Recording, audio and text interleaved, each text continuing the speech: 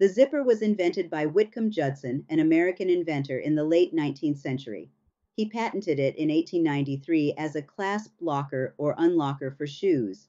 However, the modern zipper design we're more familiar with today was refined and developed by Gideon Sundback, a Swedish American engineer around 1913. Sundback's version improved on Judson's design, leading to the zipper we use widely in clothing and various applications today.